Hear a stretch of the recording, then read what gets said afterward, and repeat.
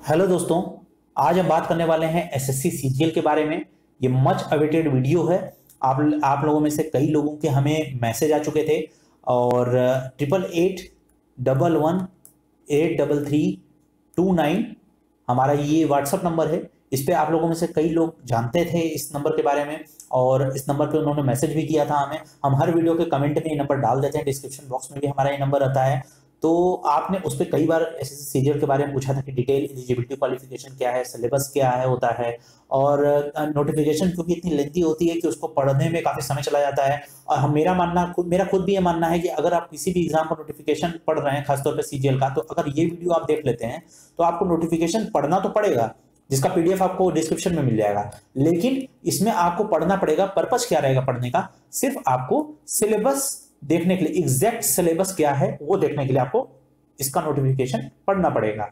बाकी चीज़ें आप खुद ब खुद समझ जाएँगे क्योंकि बाकी चीज़ें हम आपको समझा देंगे। सिलेबस भी आपको इसलिए पढ़ना पड़ेगा क्योंकि आ, मैं एक मैं इसमें आपको स्लाइड तो दिखा दूँगा पर एक एक एग्जैक्ट डिटेल जब तक आप उसे पीडीएफ में बार बार बार बार देखेंगे नहीं तब तक आप उस चीज़ को समझ नहीं पाएँगे। तो इसीलिए सबसे ज़्यादा ज़रूरी ये है कि आप उसके सिलेबस को अच्छे से समझें जिससे कि आपके लिए ये एग्ज़ाम को क्रैक करना काफ़ी ईजी हो और सिलेबस के अकॉर्डिंग ही आप तैयारी करेंगे। पर ये वीडियो आपकी सबसे ज़्यादा मदद मदद करेगी एलिजिबिलिटी क्या होती है? क्वालिफिकेशन क्या चाहिए? आपकी क्वालिफिकेशन क्या होनी चाहिए? अगर आप सीजीएल एग्ज़ाम में बैठना चाहते हैं, इसमें पोस्ट कौन कौन सी आपको मिलेगी? ये आपको पता चलेगा। साथ ही साथ इसमें आपकी एलिजिबिलिटी आपकी क्वालिफिकेशन सिलेबस क्या है? सिलेबस क्या होना चाहिए? आपके पास डिग्री कौन कौन सी इसमें है? और किस किस एग्ज़ाम के लिए कौन कौन सी डिग्री है? ऐसा नहीं है कि आपके पास सिर्फ़ बैचलर डिग्री है तो आप सारे एग्ज़ाम में बैठ सकते हैं। आपकी एग्जैक्ट क्वालिफिकेशन क्या है? और आपके हाई स्कूल में, आपके इंटरमीडिएट में आपने आपने मैथ में कितने नंबर अचीव किए? सिक्सटी परसेंट आप आपके मैथ में आए हैं या नहीं आए हैं? इससे भी इसके पोस्ट का काफ़ी लेना देना है कि कौन से पोस्ट के लिए आप अप्लाई कर सकते हैं, कौन से पोस्ट के लिए आप एलिजिबल हैं और एलिजिबिलिटी क्वालिफिकेशन तो अलग अलग चीज़ें होती हैं। तो क्वालिफिकेशन भी काफ़ी मैटर करता है एलिजिबिलिटी के अलावा। इसके अलावा आपका जो सिलेबस है, इस सिलेबस में आपको क्या करना चाहिए कौन कौन सी चीज़ें हैं, ये हम आपको एक मोटी मोटा हम ऊपर से आपको बता देंगे। बाकी चीज़ें आप सिलेबस आप डिस्क्रिप्शन में जाके आप पीडीएफ के का लिंक मैं दे दूँगा इसका और पीडीएफ को आप डाउनलोड कर लीजिएगा और आप एग्जैक्ट समझ लीजिएगा हम आपको ये एग्ज़ाम कब से शुरू हो रहा है, इसका लास्ट डेट क्या है और इसमें आपको किन किन चीज़ों का ध्यान रखना है और जो नोटिफिकेशन में कई चीज़ें होती हैं जो हम लोग नहीं समझ पाते हैं, वो आपको पता चलेगा। अगर टाई हो जाता है, मान के चलिए कि आपका tier one tier two tier three tier four इस इस तरह से इसके पेपर्स होंगे तो इसमें मान के चलिए कि आप अगर इसको क्लियर कर लेते हैं और आपका आपका इसमें टाई हो जाता है। टाई का मतलब है कि आपके नंबर और आपके कंपटीटर के नंबर दोनों सेम हो जाते हैं तो उस केस में किसको प्रेफरेंस मिलेगा? ज़्यादा ज़्यादा प्रेफरेंस किसको मिलेगा? ये सब चीज़ें काफ़ी इंपॉर्टेंट है जानना। तो कुछ चीज़ें ऐसी हैं जो कि आप पढ़ के समझ जाएँगे और इस वीडियो को देखने के बाद आपकी काफ़ी दिक्कतें दूर हो जाएँगी, जो कि आपको प्रॉब्लम फेस करने को मिल मिल रहा था, जो कि मुझे आप में से कई लोगों ने कहा था कि सीजीएल के ऊपर वीडियो बनाइए। तो ये हम वीडियो बना रहे हैं। हमारे एस एस सीजीएल का कंप्लीट कोर्स भी लॉन्च हो रहा है। यूपीएससी के कोर्स भी ऑलरेडी चल रहे हैं। तो अगर आप नए, अभी नए हैं, अभी चैनल को सब्सक्राइब नहीं किए तो कर लीजिएगा। एसएससी सीजीएल की का मैंने एक अनाउंसमेंट वीडियो ऑलरेडी बना चुका था, अब मैं इस पर काम कर रहा हूँ। तो प्रेजेंट में इस पे एसएससी सीजीएल पे भी आपको यूपीएससी की तरह एसएससी पे भी आपको कंटेंट देखने को मिलेंगे। और यूपीएससी लाइब्रेरी साइंस और यूजीसी नेट सोशल वर्क इस पर इन तीनों चीज़ों पे हमारे यहाँ ऑलरेडी काम चल रहा है और इसकी वीडियोस भी आते रहते हैं। तो इसे मिस मत कीजिएगा और अगर हमारे चैनल को सब्सक्राइब नहीं किए हैं और अगर आप यहाँ नए हैं तो सब्सक्राइब किए बिना मत जाइएगा। वीडियो बहुत ही ज़्यादा यूजफुल है। अब चलिए अपने टॉपिक पे चलते हैं। देखिए, सबसे पहले इसकी नोटिफिकेशन को देखते हैं। तो देखिए, इसकी वेबसाइट पे ये 23 दिसंबर से 2021 को ही इसका नोटिफिकेशन आ चुका है। मतलब ऑलरेडी काफ़ी एक एक हफ़्ते से ज़्यादा हो चुका है इसका नोटिफिकेशन दो टू वीक्स ऑलमोस्ट हो चुके हैं। और अभी ये, इसमें आपको डिटेल बता दूँ, ये government of India ministry of personnel public grievances and pension department of personnel and training staff selection commission, ये उसका बता दिया गया स्टाफ सिलेक्शन कमीशन के ऑफ़िस का। तो ये मिनिस्ट्री ऑफ़ पर्सनल ट्रेनिंग के अंतर्गत आता है कि इनका, यानी भारत सरकार कार्मिक, लोक शिकायत एवं पेंशन मंत्रालय, कार्मिक एवं प्रशिक्षण विभाग, कर्मचारी चयन आयोग, इनसे रिलेटेड है। ये ये कार्मिक, लोक शिकायत एवं पेंशन मंत्रालय ही रिक्रूटमेंट करता है एसएससी के लिए कि कौन एलिजिबल है, कौन एबल कैंडिडेट को सेलेक्ट करना इसी की ज़िम्मेदारी है। तो अब आगे बढ़ते हैं। अब देखिए नोटिस देखते हैं इसका। Notice combined graduate level exam 2021 का। तो देखिए इसमें ऑनलाइन सबमिशन का डेट आपका तेईस दिसंबर जिसमें मैंने आपको बताया से तेईस जनवरी यानी एक महीने का वन मंथ दिया गया। कभी कभी एक्सटेंड भी हो जाता है ये लेकिन अभी हम लोग एक्सटेंशन पे बात नहीं करें क्योंकि अभी हमारे पास तेईस जनवरी 2022 का डेट है और आज आपका सात जनवरी है। यानी आपके पास अभी भी आ, अच्छा खासा समय आपके पास कुछ नहीं तो चौदह दिन तो चौदह दिन यानी टू वीक से अभी भी आपके पास है। तो इसको अगर आपने फिल नहीं किया होगा तो कर लीजिएगा। अगर लास्ट डेट की बात करें लास्ट डेट और टाइम लास्ट डेट और टाइम इंपॉर्टेंट है तो ये ऑनलाइन एप्लीकेशन एक्सेप्ट करने के लिए। तो ये है तेईस जनवरी 2022 के साढ़े ग्यारह बजे रात में। ये साढ़े तेईस का मतलब है साढ़े ग्यारह बजे पीएम पे आप रात तक कर सकते हैं। ये तेईस जनवरी को साढ़े ग्यारह पीएम तक कुछ लोग कहते हैं कि नहीं सर, चौबीस जनवरी को मतलब कुछ लोग हम मैसेज करते हैं कि चौबीस जनवरी को भी हम भर सकते हैं। तो नहीं, ऐसा नहीं है। आप तेईस जनवरी को साढ़े ग्यारह बजे रात तक इस फॉर्म को ऑनलाइन फिल कर सकते हैं। अगर हम बात करें कि फ़ी पेमेंट की बात करें फ़ी पेमेंट के लिए आप फ़ी पेमेंट आपको मिलेगा ऑनलाइन अगर फ़ी पेमेंट कर रहे हैं आप तो आपको इसमें मिलेगा पच्चीस जनवरी 2022 तक आपको फ़ी पेमेंट करने का मौका मिलेगा और ये भी मिलेगा आपको साढ़े ग्यारह बजे तक। यानी कि आप अप्लीकेशन अब ये देखिए, आप लोग सोच रहे ये क्या चीज़ है। तो देखिए, मान लिया, पहले, अब पहले किसी भी जगह आप क्या करते हैं, पहले आप कोई फॉर्म देखे, पहले उसमें आप अप्लाई करेंगे। अप्लाई करेंगे फिर फॉर्म को आप अप्लाई कर देंगे अप्लाई करने के जस्ट बाद आपका जो दूसरा चीज़ आएगा, वो आएगा फ़ी पेमेंट का। क्योंकि एप्लीकेशन में आपका नाम, आपका आपका एड्रेस आपके मोबाइल नंबर ईमेल आईडी आपके फादर मदर और सारी डिटेल आपकी ले ली जाती है। तो फ़ी इसमें कितनी फ़ी पेमेंट करनी है कब करनी है सारी पेमेंट से रिलेटेड सारी इंफॉर्मेशन आपको पेमेंट बाद में होता करने को होता है तो उसके लिए आपको दो दिन का एक्स्ट्रा समय यानी पच्चीस जनवरी को दिया गया साढ़े ग्यारह बजे रात तक। और अगर चालान कोई आप, आप मान लीजिए ये ऑनलाइन के लिए अगर ऑनलाइन फ़ी पेमेंट करते हैं तो लेकिन अगर आप चालान के थ्रू दे रहे हैं, अगर बैंक में बैंक में इसके चालान बनते हैं तो अगर मान लीजिए आप ऑनलाइन पेमेंट नहीं करना चाहते अच्छा आजकल तो ninety ninety nine ninety nine क्या? नाइनटी 95 परसेंट से अब लोग ऑनलाइन पेमेंट ही करते हैं। लेकिन मान लीजिए जो बाकी के पाँच परसेंट है, उनके लिए मैं बता दूँ कि ऑनलाइन चालान, अगर ऑफलाइन चलाना बनाते हैं तो वो आपको छब्बीस जनवरी, एक दिन आपको बढ़ा के मिला है मौका बैंक से चालान बनाने का। और फिर जो पेमेंट होता है चालान के द्वारा, उसके करने के लिए एक दिन और मिल गया है आपको। यानी चालान आप बनवा सकते हैं, छब्बीस जनवरी को छब्बीस जनवरी को अगर आप अगर आप ऑफलाइन फॉर्म भर रहे हैं तो आप छब्बीस जनवरी छब्बीस जनवरी को साढ़े ग्यारह बजे रात तक आप इसका चालान भर सकते हैं और 27 जनवरी को आप इसका पेमेंट इसको, इस चालान के नंबर के द्वारा आप बैंकिंग ऑन में इसके इसके पेमेंट को कंप्लीट कर कर सकते हैं चालान के द्वारा। ये 27 जनवरी तक है नियम। अब देखिए बैंकिंग आवर बैंकिंग आवर यहाँ पहले से लिख दिया इसलिए यहाँ साढ़े ग्यारह बजे का ज़िक्र नहीं है। बैंकिंग आवर का बात किया गया है, क्योंकि बैंकिंग आवर का मतलब होता है कि जैसे बैंकिंग वाली बैंक छह बजे, सात बजे जैसे भी आपके एरिया में ऑपरेट हो रहे हो कुछ जगह छह बजे बैंक बंद हो जाते हैं, कुछ जगह सात बजे बंद होते हैं, कुछ जगह चार बजे तक ही होते हैं। तो इस हिसाब से आप जब जब तक आपका चालान, ये चालान बनने की बात है नॉर्मल तौर पे अगर सिर्फ़ आपको कैश की लेन देन करनी हो तो उसके लिए तो चार ही बजे, चार मैक्सिमम होता है। दो से ढाई बजे नॉर्मल बैंकों का लंच हो जाता है। तो लेकिन छह से सात मतलब चालान वगैरह बनाने के लिए डिमांड ड्राफ्ट बनाने के लिए काफ़ी समय मिलता है तो उसमें वो बैंकिंग आवर उसमें आ जाएगा। अगर हम window of for application correction की बात करें, अगर जैसे कि किसी का गलती हो गया है, कोई मतलब ऑनलाइन पेमेंट किया, उसमें कुछ गलती हो गया तो गलती के सुधारने का मौका मिलता है। 28 जनवरी 2022 से 1 फरवरी 2022 तक साढ़े ग्यारह बजे रात तक।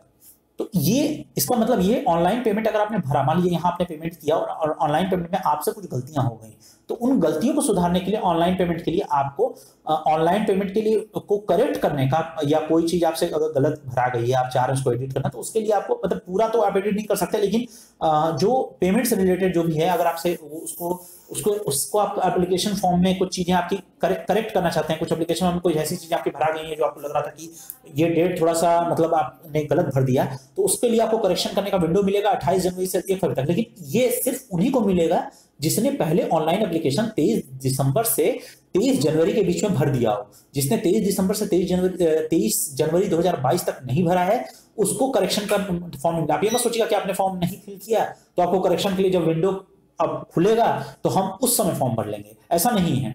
जिसने पहले से भर रखा है सिर्फ़ वो करेक्शन तभी करेक्शन आप तब किसी चीज़ का तभी कर सकते हैं जब आप उसमें अप्लाई किए हो। तो इस बात की काफ़ी इंपॉर्टेंट है ये चीज़।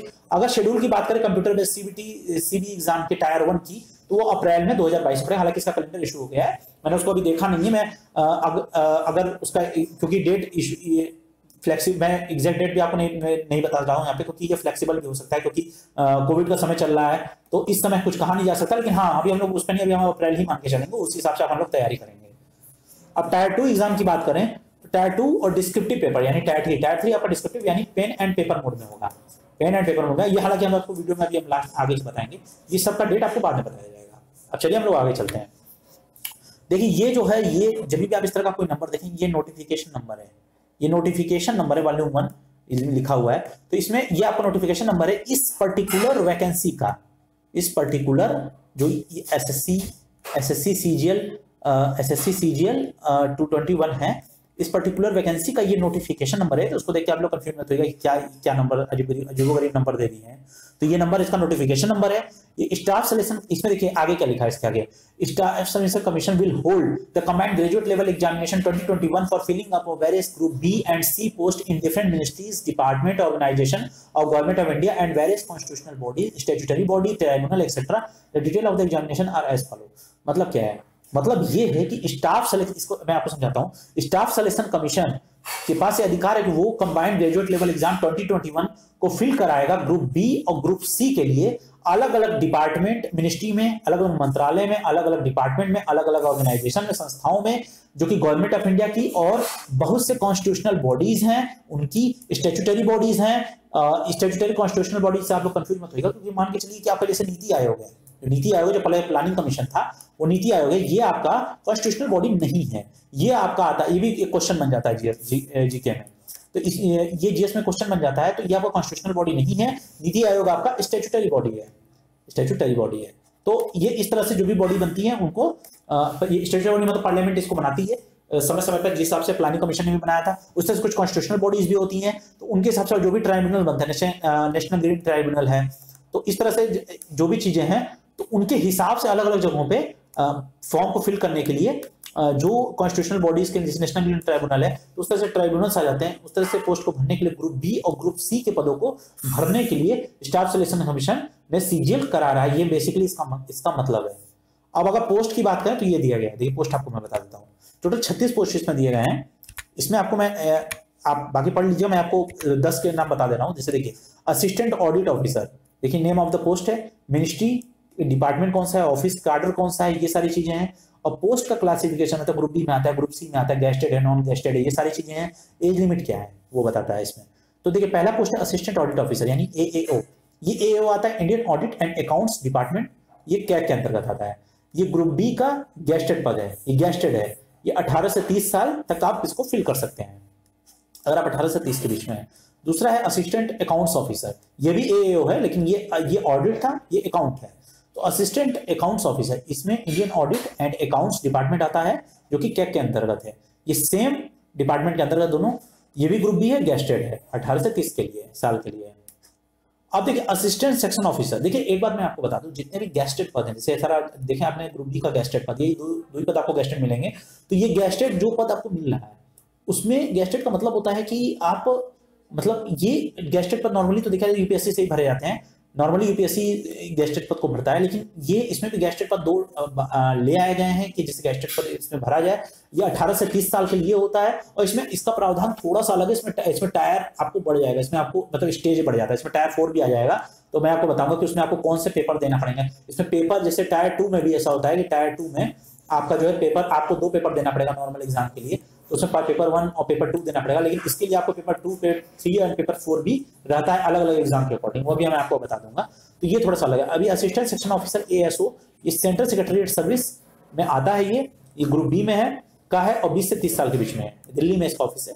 अब असिस्टेंट सेक्शन ऑफिसर ये इंटेलिजेंस ब्यूरो आईबी के अंतर्गत है। असिस्टेंट यानी ए भी एएसओ है ग्रुप बी का ही है, लेकिन ये आता है आपका आईबी में। तो खुफिया विभाग में आता है ये। तो ग्रुप बी में है, ये भी 18 से 30 ये 18 से 30 है। ये सेंट्रल सेक्रेटरीट सर्विस का 20 से 30 था, आईबी का 18 से 30 है। अब आता है assistant section officer same post है, लेकिन मिनिस्ट्री अलग अलग है। ये मिनिस्ट्री ऑफ़ रेलवेज में है। ये भी ग्रुप बी का है, बीस से तीस साल लीजिए अब असिस्टेंट सेक्शन ऑफिसर, ये भी एएसओ है, लेकिन ये आता है एक्सटर्नल अफेयर्स में। विदेश मंत्रालय में आता है। ये और ग्रुप बी का आपका जो है, ये है बीस से तीस साल के लिए है। Assistant section officer, same ASO लेकिन ए एफ़ एच यू यानी आर्म आर्म्ड फोर्सेस हेडक्वार्टर में। आर्म फोर्स के हेडक्वार्टर में, उसके हेडक्वार्टर में आपका जो है, ये आता है।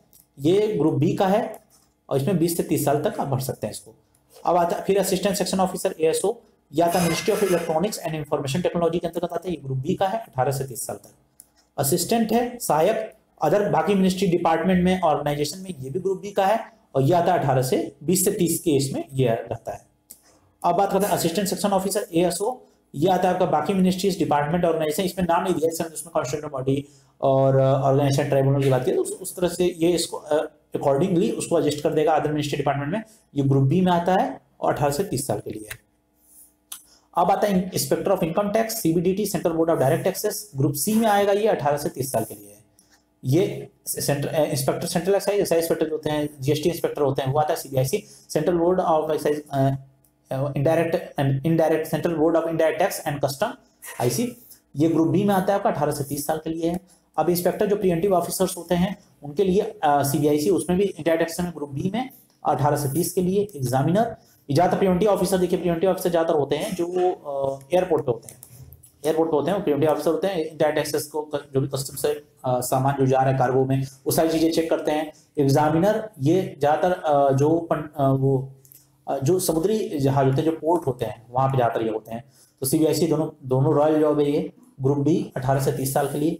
अब असिस्टेंट इन्फॉर्मेस्ट ऑफिसर ये director of information director department of revenue यानी कि इन्फोर्समेंट आपने सुना होगा कि ईडी का छापा पड़ गया कहीं पे। ये तमाम नेताओं के नेताओं के घर पे आप देखेंगे कि छापा पड़ जाता है या किसी फ़िल्म स्टार घर पे छापा पड़ जाता है। या कभी भी कहीं पे, जैसे अभी हाल ही में इत्र के व्यापारी थे, उनके यहाँ छापा पड़ा था जो पीयूष जैन थे उनके यहाँ। तो वो तो इससे छापा पड़ा तो इससे क्या होता है कि ये ये काम ईडी का ही है। तो ईडी में आपको भी अगर आप असिस्टेंट इन्फॉर्मेशन ऑफिसर बनते हैं तो आपको भी मौका मिल सकता है ये। बहुत अच्छा पद है ये भी। ग्रुप बी का है। अठारह से तीस, रसूख वाली जॉब है अठारह से तीस साल के लिए। और सब इंस्पेक्टर ही बनते हैं central board central bureau of investigation ये ग्रुप बी के ग्रुप बी में आता है सीबीआई बीस से तीस साल के लिए। Inspector of post department of post में डिपार्टमेंट ऑफ़ पोस्ट में आता है ये ग्रुप बी का अठारह से तीस साल के लिए। इंस्पेक्टर आपका central central bureau of narcotics group B में आपने फोर्स मूवी देखी होगी फोर्स में भी नार्कोटिक्स डिपार्टमेंट में थे। तो ठीक, उसी तरह से इंस्पेक्टर आप उसमें बन सकते हैं। ग्रुप बी में आता है अठारह से तीस साल के लिए। फिर असिस्टेंट और असिस्टेंट या सुपरिटेंडेंट इंडियन कोस्ट गार्ड में आपको ग्रुप बी में मिलता है कोस्ट गार्ड के लिए। अठारह से तीस साल है। और असिस्टेंट यानी बाकी मिनिस्ट्री डिपार्टमेंट ऑर्गेनाइजेशन ये भी ग्रुप बी में, अठारह से तीस के लिए। और assistant national company law tribunal यानी एनक्लेट इसमें आपको मिलेगा ग्रुप बी में अठारह से तीस साल के लिए। और रिसर्च असिस्टेंट आपको national human rights commission NHRC इस ग्रुप बी में आपको मिलेगा अठारह से तीस साल के लिए। और फिर आपका डिविजनल अकाउंटेंट मिलेगा डीए ये आपको मिलेगा, ये आपका रहेगा ऑफ़िस अंडर कैग के अंतर्गत रहेगा ये ग्रुप बी का है, अठारह से तीस साल के लिए। देखिए, ये सब नॉन गेस्टेड है। जो मैंने आपको अभी सबसे पहले एक और दो नंबर का बताया था गेस्टेड था। बाकी सब नॉन गेस्टेड है। इसमें दो ही पद रखे गए गेस्टेड के। अब देखिए सब इंस्पेक्टर है NIA national investigation agency group B अठारह तीस के लिए। जूनियर स्टेटिस्टिकल ऑफिसर जेएसओ इसमें ministry of statistics programme and implementation group B में अठारह साल के लिए ये। उसके बाद statistical investigator grade two registrar general of India group B में अठारह के लिए भी अच्छी अच्छी पोस्ट है। ऑडिटर ऑडिटर आता ऑफ़िस अंडर क्या ग्रुप सी का है, या अठारह से सत्ताईस साल के लिए है। और देखिए, ये जो एज मैं बता रहा हूँ एज तो है, लेकिन आपको जो रिजर्वेशन का जो नियम है, वो सारे नियम लागू होंगे, वो मैं आपको बता दूँगा। ऑडिटर बाकी मिनिस्ट्री डिपार्टमेंट के ग्रुप सी में अठारह से सत्ताईस साल के लिए। उस तरह से देखिए, मैं अब ऑडिटर है अकाउंटेंट है अकाउंट आपका जो है अकाउंट जूनियर अकाउंटेंट है, बाकी ग्रुप सी का अठारह सत्ताईस साल के लिए। सीनियर सेक्रेटरीट असिस्टेंट और upper divisional clerk UDC ministry of electronics information technology senior secretariat assistant upper divisional clerk आता है सेंट्रल गवर्नमेंट ऑफ़िस और बाकी मिनिस्ट्रीज में। और टैक्स असिस्टेंट सीबीडीटी में टैक्स असिस्टेंट सीबीआईसी यानी कि इनडायरेक्ट टैक्स और डायरेक्ट टैक्सेस में। डायरेक्ट टैक्स है इनडायरेक्ट टैक्स है इनडायरेक्ट टैक्स एंड कस्टम इसमें आता है sub inspector CBN central narcotics इनको आपको जगह जगह नोटिफिकेशन में सीबीएन के नाम से दिखेगा। ग्रुप सी में आता है अठारह साल के लिए। तो ये टोटल छत्तीस पोस्ट हैं जैसे मैंने आपको दिखाया। ये सारे पोस्ट हैं जो कि आते हैं। एस एस सी अपने अपने नोटिफिकेशन के थ्रू भरेगा हालाँकि इसमें नाम और संख्या और भी पोस्ट इसमें ऐड कर सकता है, घटा भी सकता है। ये टोटल सीजीएल इसके लिए सीजीएल के अंडर में है ये सारी चीज़ें। तो अब हम देखिए, इसमें एक चीज़ देखते हैं नोट नोट क्या है कि देखिए कमीशन जो है कमीशन फाइनल अलॉटमेंट करेगा पोस्ट का on the basis of merit cum preference of post के बेस पे। Merit cum preference of post के पेज पे जो कमीशन है, इसका जो फाइनल अलॉटमेंट करेगा और ये मेरिट कम प्रेफरेंस क्या है? देखिए मेरिट कम प्रेफरेंस क्या है मैं आपको समझा देता हूँ। कुछ लोग ये, यही सारे टर्म्स को देख के कंफ्यूज हो जाते हैं। तो देखिए, आप लोगों ने, मैं आपको इजी टर्म में समझाता हूँ। आपने सुना होगा प्री कम मेंस कहीं भी कोचिंग में तैयारी करवाते हैं, लोग कहते हैं, मैंने प्री कम मेंस के सीजल की तैयारी में प्री कम मेंस की तैयारी करा रहा हूँ। प्री कम मेंस का क्या कराता है? पहले प्री कराएँगे प्री और मेन्स को दोनों को साथ लेके। लेकिन प्री के बाद ही तो मेन्स आएगा। ठीक उसी तरीके से। मेरिट कम प्रेफरेंस का मतलब क्या है? मेरिट कम प्रेफरेंस का मतलब है कि पहले तो मेरिट बनेगी आपकी। जैसे आपने टायर वन में कितना मार्क पाया है मार्क्स पाए हैं आप, और टायर टू में कितना पाए हैं। तो ये पहले चीज़ इंपॉर्टेंट है। उसके बाद कम प्रेफरेंस यानी कि उसके साथ प्रेफरेंस भी देखा जाएगा, लेकिन सबसे पहले आपका मेरिट लिखा, सबसे पहले आपका मेरिट देखा जाएगा। फिर आपने प्रेफरेंस क्या भरा था? वो, जैसे मान लीजिए किसी ने भरा, आपने भरा इनकम इनकम टैक्स इंस्पेक्टर का सीबीडीटी में। तो अब इसमें इनकम टैक्स इंस्पेक्टर का आपने भरा और किसी ने असिस्टेंट अकाउंट्स ऑफिसर का भरा था। तो आप तो इनकम टैक्स इंस्पेक्टर और और असिस्टेंट अकाउंट ऑफिसर भरा अब किसी ने असिस्टेंट अकाउंट ऑफिसर का भरा और आपने इनकम टैक्स इंस्पेक्टर को फ़र्स्ट प्रेफरेंस दिया। तो आपका नंबर अगर ये असिस्टेंट अकाउंट ऑफिसर से ज़्यादा आ गया तो भी आपको इनकम टैक्स ही मिलेगा। आपको ऐसा नहीं कि असिस्टेंट अकाउंटेंट मिल जाएगा। जबकि ये बंदा जो है, जिसने आपसे एक नंबर कम पाया है, वो असिस्टेंट अकाउंटेंट ऑफिसर का पद अगर उसने पहले डाला होगा तो उसे मिलने का चांस ज़्यादा है, बजाय आपके। तो ये चीज़ ये चीज़ों का अंतर आ जाता है। तो ये ये अंतर अंतर आपको देखने को मिलेगा। उसके बाद देखिए तो अब आपको समझ में आ गया होगा कि ये ये आखिर मेरिट मेरिट कम प्रेफरेंस आखिर होता क्या है? ये आपको समझ में आ गया होगा। तो अब देखिए अब हम बताते हैं आपको। आ, हाँ। तो देखिए जैसे यहाँ पे मेरिट कम प्रेफरेंस पोस्ट के हिसाब से जो कमीशन जो है वो फाइनल अलॉटमेंट करेगा पोस्ट के लिए। अलॉटमेंट यानी कि जॉब जो देगा वो मेरिट कम प्रेफरेंस बेस पर देगा पोस्ट का किसी भी कैंडिडेट के लिए। और एक और एक बार जब पोस्ट अलॉट हो जाएगी तो उसमें कोई भी चेंज नहीं किया जा सकता है कमीशन के द्वारा। अगर कोई भी पोस्ट और कोई अगर मान लीजिए कि कोई पोस्ट स्पेसिफिक जो रिक्वायरमेंट है चाहे फ़िज़िकल मेडिकल एजुकेशनल स्टैंडर्ड की देखिए फ़िज़िकल और मेडिकल भी इसमें काफ़ी इन्वॉल्व है। कुछ कुछ जॉब में जब आपको इंस्पेक्टर बनाया जाता है इंस्पेक्टर के नाम से आप समझ लीजिए कि आपका फ़िज़िकल टेस्ट भी होगा। तो फ़िज़िकल इस सब एग्ज़ाम जॉब में नहीं है। आपका इनकम अगर इनकम टैक्स में आता है तो उसमें नहीं है। लेकिन इनकम टैक्स के इनकम टैक्स में कुछ पार्ट में नहीं है। बाकी जगहों पे है। अगर कोई टैक्स असिस्टेंट बनता है तो उसका स्किल टेस्ट होगा ज़्यादातर। उसका उसके लिए उसका एक, एक तरह से एजुकेशन स्टैंडर्ड मान सकते हैं। मेडिकल नहीं मांगेंगे उसको मेडिकल तो जो नॉर्मल होता है वही होता है, लेकिन जो इस तरह के इंस्पेक्टर की पोस्ट है सीबीआई की है, चाहे एनआईए की है, उसमें फ़िज़िकल का स्पेशल डिमांड होता है। तो अगर मान लीजिए कि एक बार आपको मेरिट कम प्रेफरेंस बेस पे आपको पोस्ट मिल गई आपकी मेरिट भी सही है प्रेफरेंस भी सही भरा, मन मुताबिक पोस्ट मिल रही है, लेकिन अगर आप बाद में फ़िज़िकल और मेडिकल स्टैंडर्ड को कंप्लीट नहीं करते हैं तो आपको जॉब में, आपको जॉब नहीं दी जाएगी। दूसरे शब्दों में कहें कि अगर कोई कैंडिडेट जो होता है उसका किसी प्रेफरेंस के लिए मतलब हायर प्रेफरेंस अगर किसी पोस्ट के लिए उसका प्रेफरेंस ऊपर उसने सबसे ज़्यादा दिया है, और वो उस पोस्ट के लिए सेलेक्ट भी हो जाता है तो उस केस में अगर वो फेल हो जाता है मेडिकल या फ़िज़िकल या एजुकेशनल स्टैंडर्ड को के हिसाब से तो उसके बाद उसका जो कैंडिडेचर जो होगा वो रिजेक्ट माना जाएगा, और उसे कंसिडर नहीं किया जाएगा बाकी प्रेफरेंसेस के लिए। ऐसा नहीं कि अब आपने, आप सीबीआई को सबसे ऊपर डाला था तो आपको सीबीआई से हटा के आपको फिर आपको मान लीजिए कि टैक्स असिस्टेंट बना दिया जाएगा क्योंकि ये ग्रुप सी का पद है। ऐसा नहीं है। अगर आप सीबीआई के में अगर आप इंस्पेक्टर जॉब में अगर आप, आप रिजेक्ट हो जाते हैं तो आपको जो है टैक्स असिस्टेंट का जॉब नहीं मिलेगा। क्योंकि आपने पहले उसको अलॉट कर लिया था और वो आपने पोस्ट लॉक कर दिया था। बाकी के जो कैंडिडेट है जो टैक्स असिस्टेंट की जगह पे आए होंगे उन्होंने उनके प्रेफरेंस के हिसाब से उनके मेरिट कम प्रेफरेंस के हिसाब से उनको टैक्स असिस्टेंट अलॉट हो गया। तो अब वो जगह आप नहीं पा सकते क्योंकि वो जगह ऑलरेडी दूसरे बच्चे ने ग्रैप कर ली है। तो आपका वो चांस चला गया। अब नोट दूसरे नोट की बात करते हैं। तो देखिए, इस पोस्ट के प्रेफरेंस की बात करें तो डॉक्यूमेंट वेरिफिकेशन जब जो प्रेफरेंस अब आप सोचेंगे प्रेफरेंस कब भरा जाएगा? तो जो पोस्ट का प्रेफरेंस भरा जाएगा, वो डॉक्यूमेंट वेरिफिकेशन यानी डीवी के समय भरा जाएगा। या, देखिए, या या तो डीवी के समय रहेगा या जब कमीशन जब कमीशन आपसे मांगेगा वो, तब आप भर सकते हैं। और कैंडिडेट जो कि जो कि कुछ पोस्ट के लिए भरे हैं, जैसे कि इंस्पेक्टर सेंट्रल एक्साइज में एग्जामिनर में प्रिवेंटिव ऑफिसर में, या इंस्पेक्टर और सब इंस्पेक्टर में central board of narcotics sub inspector CBI में और एनआईए एक्सेट्रा के लिए, जिसमें specific physical standard physical test medical standard और बाकी की रिक्वायरमेंट है तो कैंडिडेट इस चीज़ को फॉर्म अपनी प्रेफरेंस को भरने से पहले श्योर हो जाए कि वो उससे पोस्ट की रिक्वायरमेंट को फुलफिल कर रहा है अपने प्रेफरेंस को देने से पहले। कमीशन ने साफ़ से पहले ही आपको चेतावनी दे दी है कि आप देखिए, जो प्रेफरेंस आपसे मांगा जाएगा, वो या तो डॉक्यूमेंट वेरिफिकेशन से पहले मांगा जाएगा या जो जब कमीशन चाहेगा कैंडिडेट से तो कमीशन जो है आपको उस हिसाब से जब हो सकता है टायर वन के बाद ही आपको जो है मौका मिल जाए टायर टू के लिए। टायर टायर वन के बाद जब टायर टू वन क्लियर कर लेते हैं तो टू में आपसे कमीशन मांग ले। तो कमीशन जब मांग लेगा, तब उस समय आपको जो है प्रेफरेंस भरना पड़ेगा और कुछ कुछ पोस्ट जैसे इंस्पेक्टर आपको, कुछ पोस्ट मैंने आपको ऑलरेडी बता दिया, उसके लिए अगर आप जो प्रेफरेंस भर देते हैं और बाद में आप उसके लिए फ़िज़िकल और मेडिकल स्टैंडर्ड में पास नहीं होते तो उसके लिए आपको जो है आपको फॉर्म भरने से पहले प्रेफरेंस देने से पहले अपनी फ़िज़िकल स्टैंडर्ड को ध्यान में रख लेना चाहिए, उसके बाद ही आपको फॉर्म भरना चाहिए। ये ये एक तरह से इस नोट में आपको कमीशन ने समझा दिया है।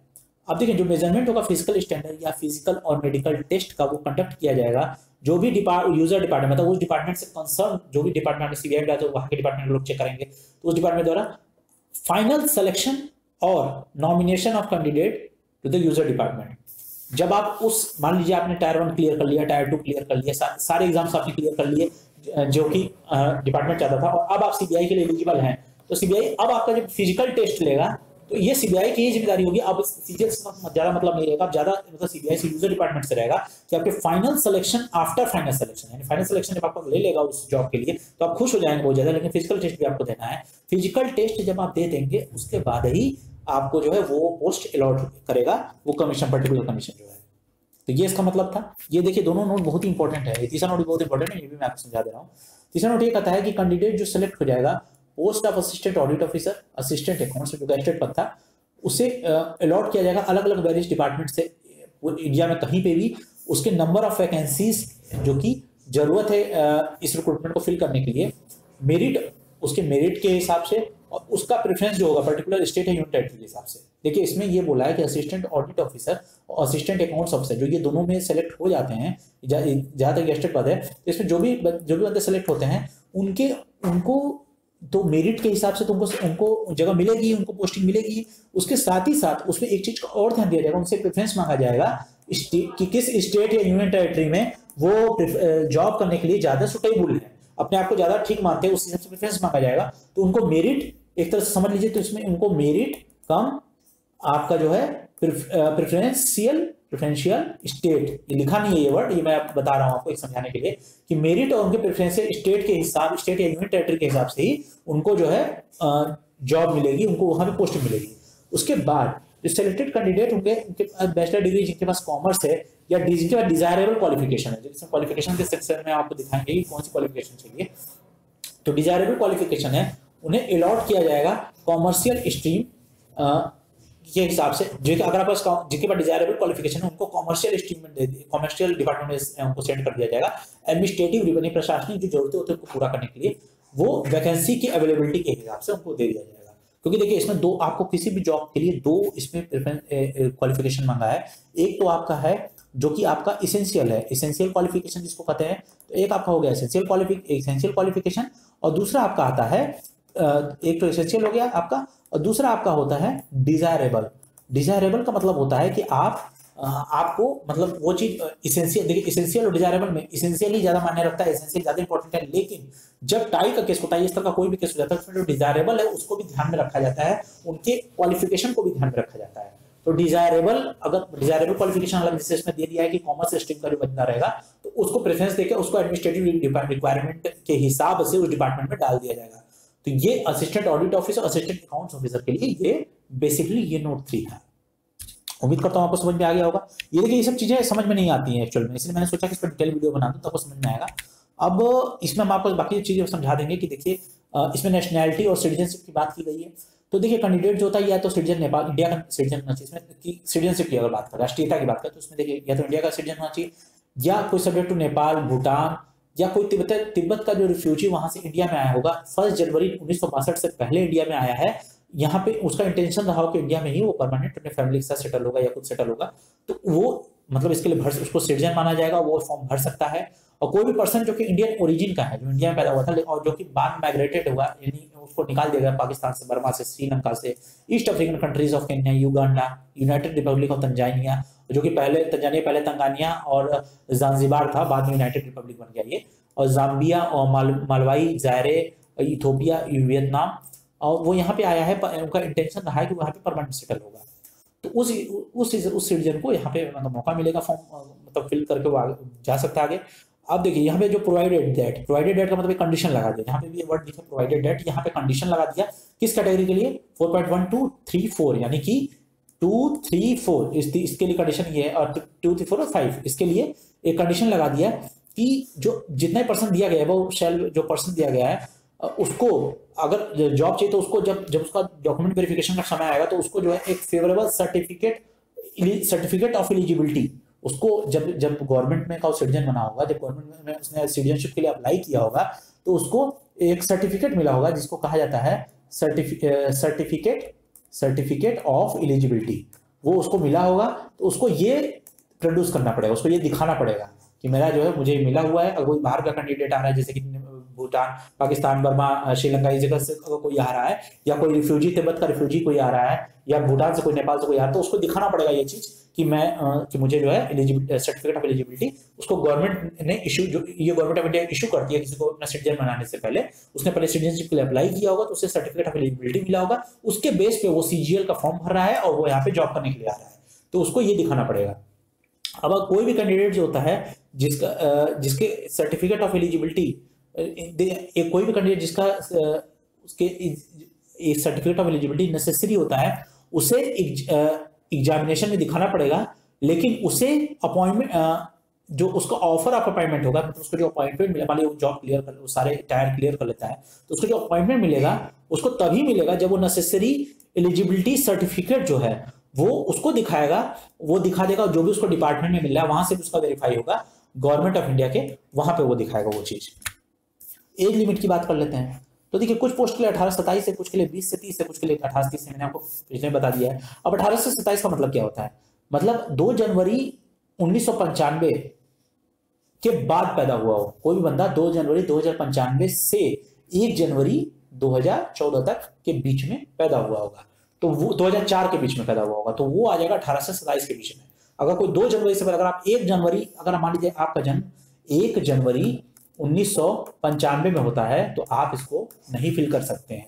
आप 18 साल से अब आप आप जो है इसको नहीं भर पाएँगे, आप जो है सत्ताईस के एबव हो गए ये कमीशन मान लेगा इस चीज़ को। तो अगर आपका डेट ऑफ़ बर्थ एक जनवरी उन्नीस सौ पंचानवे है तो आप इस फॉर्म को नहीं फिल कर सकते हैं। अब देखिए, ये सत्ताईस तक में नहीं भर सकते हैं लेकिन तीस तक में भर सकते हैं। अगर आपका एक जनवरी उन्नीस सौ पंचानवे है तो इसमें भी है कि दो अठाबीस से तीस का मतलब होता है, दो जनवरी उन्नीस सौ बानवे के बाद पैदा हुआ हो और एक जनवरी 2002 के। तो इसी तरह बाकी भी है दो जनवरी उन्नीस सौ बानवे के बाद और एक जनवरी 2004 अठारह के बीच। अठारह सौ बत्तीस के बीच का मतलब है कि दो जनवरी उन्नीस सौ नब्बे से एक जनवरी उन्नीस दो के बीच में पैदा हुआ। अब देखिए, अगर रिजर्वेशन की बात करें तो जो रिलैक्सेशन मिलता है वो सारे गवर्नमेंट जॉब में सेम रहेगा। एस सी एस टी को पाँच साल का रिजर्वेशन हर जॉब में मिलता है तो उसमें मिलेगा। रिजर्वेशन का है ओबीसी को तीन साल का मिलेगा पीडब्ल्यूडी को दस साल का। ओबीसी अगर पीडब्ल्यूडी अनरिजर्व की बात है तो ये उसको दस साल मिलेगा और पीडब्ल्यूडी जो ओबीसी तेरह साल मिलेगा, उसको दस में और प्लस तीन कर दीजिए। और अगर एस सी एस टी है तो उसको पंद्रह साल मिलेगा इसी में दो और बढ़ा दीजिए। तो उसको पंद्रह साल का मिल जाएगा। अब एक्स सर्विसमैन की बात करते हैं तो एक्स सर्विसमैन को एक्स का क्या कि जो जो भी मिलिट्री से तो मिलिट्री सर्विस होते हैं एक्स सर्विसमैन होते हैं। तो मिलिट्री सर्विस जो उसने उसने दी होगी अपनी actual from at the actual age age on the closing date जो क्लोजिंग डेट है, उसके बाद, जो क्लोजिंग डेट एग्ज़ाम का जो क्लोजिंग डेट है, उसमें, उसके पहले जो उसने एक्चुअल सर्विस दी होगी मिलिट्री की, उसमें वो उसकी एक्चुअल सर्विस उसने कितने साल सर्विस की वो प्लस तीन साल। इसको डिडक्शन इसका डिडक्शन करके एक्स सर्विसमैन को एक्स सर्विसमैन इस जॉब को भर सकता है। तो उसके बाद जो अगर डिफेंस पर्सनल जो कि डिसेबल हो गया हो कोई भी आ, कोई ऐसा ऑपरेशन जो कि फॉरेन कंट्री से उसका चल रहा हो उसमें वो डिसेबल हो गया हो और डिस्टर्ब एरिया में होगा और बाद में उसको रिलीज़ कर दिया गया उसको तीन साल का मिलेगा। जो भी डिफेंस पर्सनल जो कि डिसेबल हो गया हो और उसके बाद ये तीन साल का उसको मिलेगा जो कि लिया रिज़र्व है उनके लिए ये। और बाकी अगर डिफेंस पर्सन डिसेबल हो गया सेम है फॉरन कंट्री से, झगड़े के वक्त या किसी भी तरीके से, कोई डिस्टर्ब एरिया में उसकी पोस्टिंग हुई हो, वहाँ पे अगर उसका डिसेबल हो गया हो लड़ाई के वक्त तो उसको एस सी हो तो उसको आठ साल का मिलेगा। उसमें उसमें इसी में तीन प्लस पाँच हो जाएगा। पाँच साल का उसको एक्स्ट्रा मिल जाएगा। और देखिए, कोई भी सेंट्रल और जो एडिशनल परमिशबल रिलैक्सेशन है अपर एज के लिमिट के लिए ग्रुप सी पोस्ट के लिए। तो उसमें ग्रुप सी ये सिर्फ़ और सिर्फ़ ग्रुप सी पोस्ट के लिए एडिशनल मिलेगा। कोई भी सेंट्रल गवर्नमेंट का सिविलियन एम्प्लॉय होगा, जो कि तीन साल तक, जब उसका ज्वाइनिंग हो तीन साल तक रेगुलर और कंटिन्यूस सर्विस कर चुका होगा।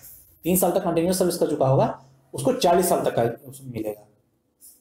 अब अब ये क्लोजिंग कब से देखा जाएगा? जो क्लोजिंग यानी कि जो तेईस जनवरी 2022 को इसका जो क्लोजिंग डेट आ रहा है फॉर्म का, इसके पहले वो तीन साल तक लगातार कंटिन्यूस जॉब कर चुका है। तब उसको चालीस साल का, उसको चालीस साल तक भर पाएगा उसको एज रिलैक्सेशन मिलेगा। और देखिए सेंट्रल गवर्नमेंट का कोई भी एम्प्लॉय अगर एस सी हो तो उसको पैंतालीस मतलब इसी में चालीस पाँच जोड़ दीजिए।